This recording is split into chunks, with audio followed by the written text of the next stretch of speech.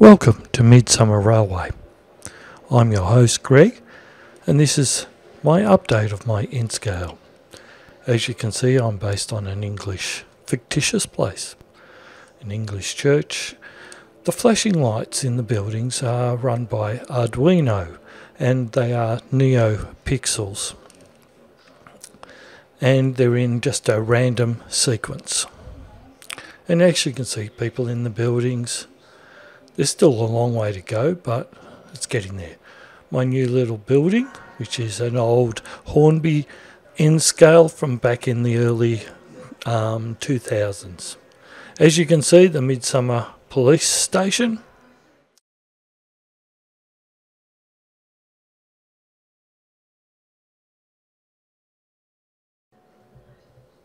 As you can see, my Kato has just come out of the tunnel and as you can see there's a lot more to be done on the on the layout.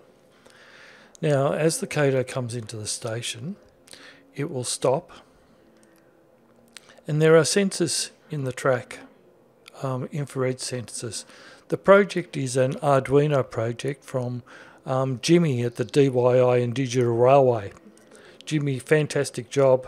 Um, really perfect perfect for what I was looking for so that I can stop my trains in the station automatically and then 30 seconds later or whatever time you determine and set up um, I've got mine set for about 30 seconds and then the power is put back onto the rail and the train will start again.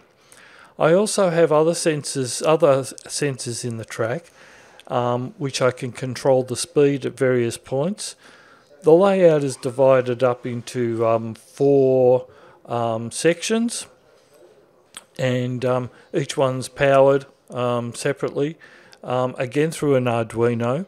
And as the train runs over it, it will sense um, the section that it's in, and the speed will be depicted.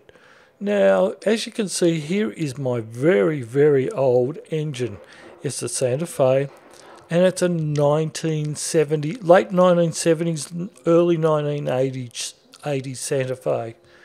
Um, it's a bit noisy, but it still runs. Um, and uh, it's a it's actually a good solid runner. It always runs.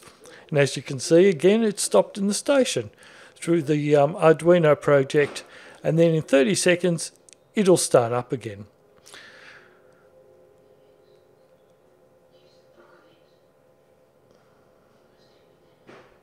And I'd like to thank you for watching. I hope you've enjoyed this little bit. It's just a quick update um, of where I'm at. Thank you for watching. Stay safe.